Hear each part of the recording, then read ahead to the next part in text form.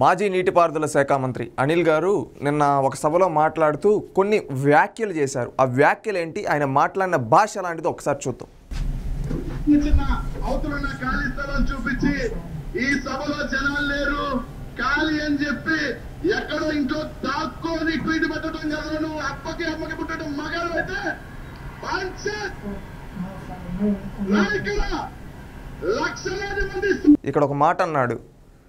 అదేదో ట్వీట్ పెట్టారంట లోకేష్ గారు. దాని గురించి అంట ఈయన మాట్లాడుతూ ఉన్నాడు. ఏమని మాట్లాడుతూ ఉన్నాడు?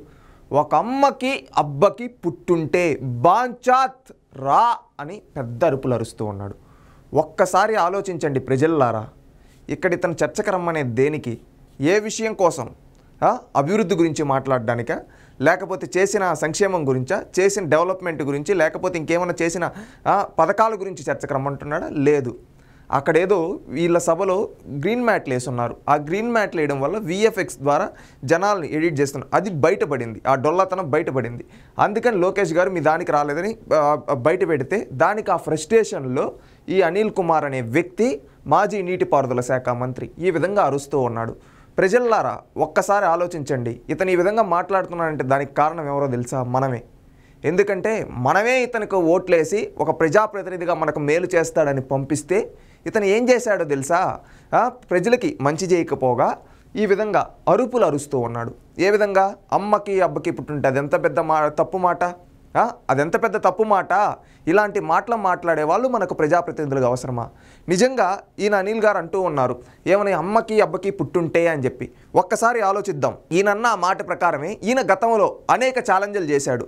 ఒకటి ప్రధానంగా మనం పోలవరం ప్రాజెక్టు గురించి ఈయన ఒకప్పుడు చేసిన రచ్చ తెలుసు. పర్సెంటా అర పర్సెంటా తొందర ఎందుకన్నా? Wait wait.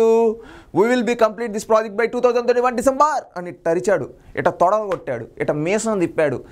ఇట జిప్పు తీశాడు. ఇవన్నీ చేసి చూపించాడు. ఎవరు? ఈ అనిల్ అనే వ్యక్తి. ఈ అనిల్ అనే వ్యక్తి ఆ రోజు అంత తరిచాడు రియాలిటీ లేకొస్తే అది జరిగిందా? నిజంగా ఇతను కంప్లీట్ చేశాడా అని చూస్తే two thousand twenty one December అయిపోయింది. పోలవరం ప్రాజెక్ట్ ఇంకా కంప్లీట్ కాల. ఎక్కడ చంద్రబాబు నాయుడు గారు ఎక్కడ వేశారు అక్కడే ఉంది. Twenty two no twenty three అయిపోయింది. ట్వంటీ ఫోర్ కూడా సగం అయిపోతా ఉంది. ఇంతవరకు ఆ ప్రాజెక్ట్ గురించి మాటలు మాట్లాడటంలా. అది ఇతని ఛాలెంజ్ల్లో ఉండే దమ్ము.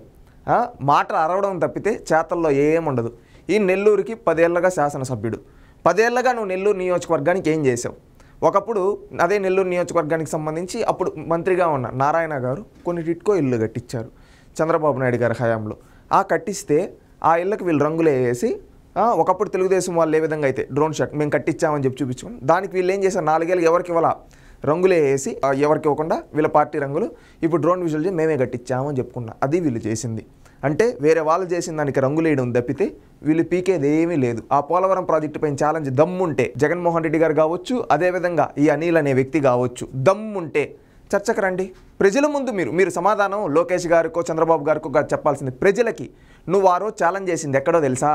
నీ ఇంట్లోనో నీ పార్టీ మీటింగ్లోనో కాదు శాసనసభ. ఆ శాసనసభ ప్రజలందరి సమస్యల్ని అక్కడ చర్చించి వాళ్ళకి న్యాయం చేయడానికి ఆ సభను ఉపయోగించాల్సింది. ప్రజలకు మేలు జరగడానికి చర్చలు జరపాల్సింది. అక్కడ నువ్వు ఛాలెంజ్ చేసావు.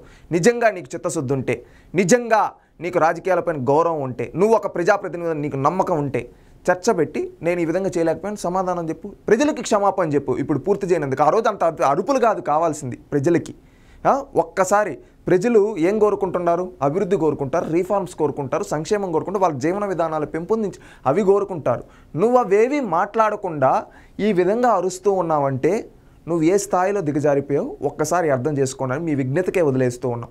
సరే నువ్వు అంటూ ఉన్నావు ఒక అమ్మకి అబ్బకి పుట్టుంటే అని చెప్పి.